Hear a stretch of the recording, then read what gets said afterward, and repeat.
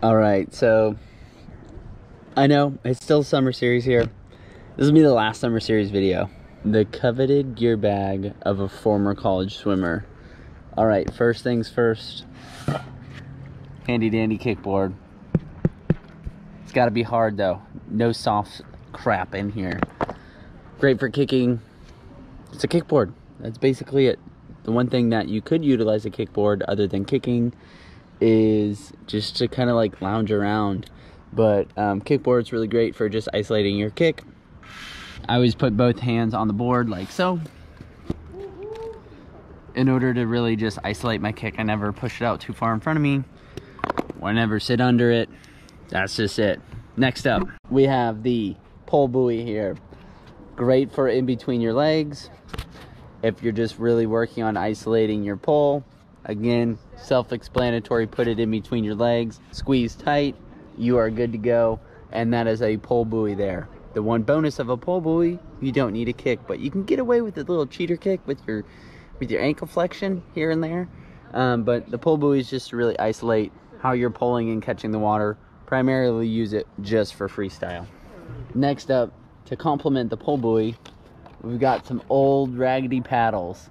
These have lasted me all of college and beyond. I super glued them together because I got mad one time and I threw them and they broke. So, um, and I think this one's newer than this one because of the sun damage. But um, a right and a left, great for freestyle drills. And again, I get a little bit bigger sized um, paddles just because I want to catch more water than my hand allows me to. So I get a good feel of my initial catch. That's the best way to complement them is to use it with the pull buoy here. At the same time, if you just really want to focus on pulling, it's very hard to keep a consistent six beat kick without a pull buoy using the paddles. So you can either just use the paddles, you could use the paddles and the pull buoy, or you could just use the pull buoy there. Again, just mainly just for freestyle stuff. Next up, I got some long fins. Uh, I go a size down from what I normally wear in street shoes just because I want to make sure that they're tight. Long fins are great for um, speed work, some fast swimming, um, some easy swimming too if you really want to focus on your stroke efficiency, if you really just want to not really care too much about your kick, but again, you want to focus on um, some pull.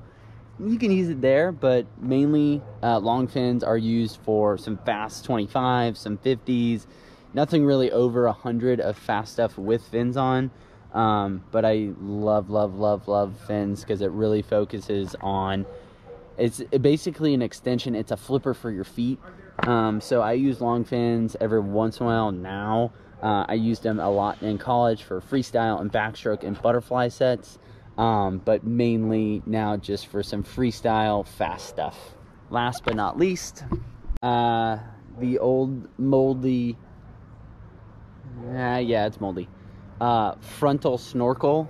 This is great for, again, seeing your stroke and um, wearing it for freestyle because if it's a side snorkel, you're going to run into some drag issues. So go with a frontal snorkel that you put on and you can use for some freestyle drills there, sculling or some six kicks and switch to really see yourself catch the water. So this little swim video series, uh, one, it's not really summer, being in September, but uh, we'll see what the next series brings us. But hopefully these little nuggets and tidbits and videos allow you to gain some knowledge on swimming here. As always, we'll see you in the next one, and go make it a great day.